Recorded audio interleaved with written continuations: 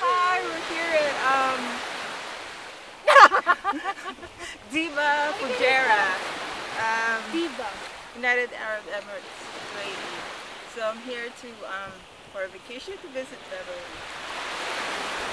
I don't have to say anything.